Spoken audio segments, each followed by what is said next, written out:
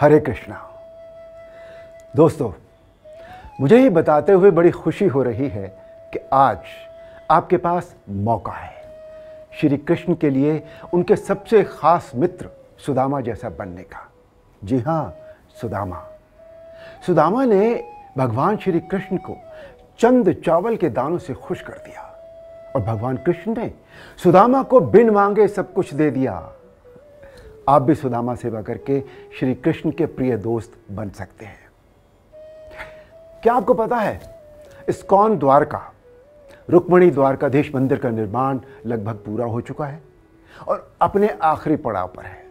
बस, इस आखिरी पड़ाव को पूरा करने में आपकी सेवा की अत्यंत आवश्यकता है, ताकि मंदिर का उद्घाटन जल्दी से जल्दी हो सके।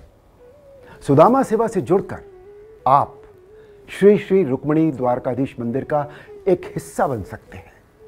मंदिर की दीवार पर एक स्क्वायर फीट अपने नाम कर सकते हैं और अपना या अपने पूरे परिवार का नाम इस मंदिर की सुदामा वॉल पर भी लिखवा सकते हैं। ये एक योगदान नहीं है।